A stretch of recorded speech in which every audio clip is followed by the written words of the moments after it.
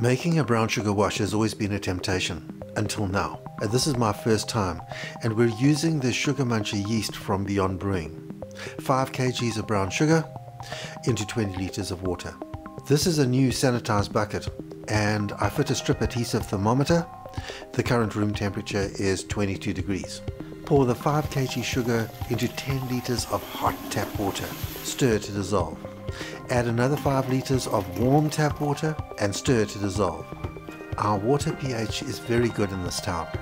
Add the last 5 litres, total of 20 in the bucket. Measure your yeast and follow the instructions. I'm a little heavy handed here.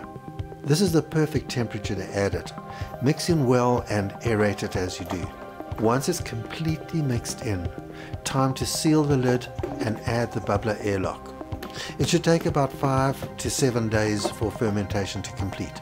See you then.